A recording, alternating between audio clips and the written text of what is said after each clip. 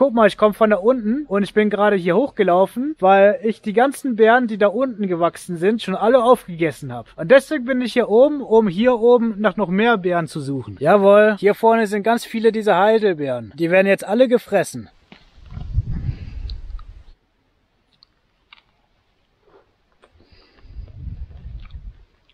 Heidelbeeren sind geiler als Blaubeeren. Die schmecken intensiver. Guck mal, hier oben gibt es ähm, noch viel fettigere ähm, Blaubeeren mit Fett dran. Die sind viel fetter als die da unten, die Blaubeeren, die ich schon alle aufgegessen habe. Und äh, genau, die sind, die sind auf jeden Fall besser, wenn die so richtig fett sind. Genauso fett wie diese fettige Vollfettwolke, die, die mit, mit ganz viel Fett dran, die die ganze Zeit die Sonne versperrt. Guck mal, was ich hier gefunden habe.